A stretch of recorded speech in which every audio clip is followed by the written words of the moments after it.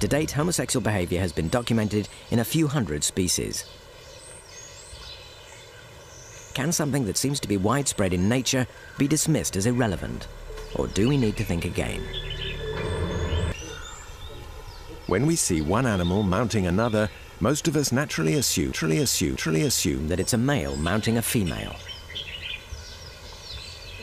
It's not surprising that many early field zoologists who witnessed, witnessed, witnessed, witnessed, witnessed homosexual behavior chose to ignore it and concentrate on and concentrate and concentrate on and concentrate on and concentrate on heterosexual sex. In 1892, one report that did document homosexual. These octopuses are both male. And these male dolphins will probably be lifelong sexual partners. And the behavior has been used to suggest that in animals, one partner in any homosexual situation is always non-consenting. But these bulls force themselves on both male and female pups.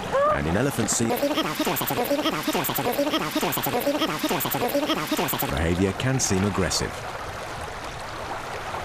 If we studied only elephants,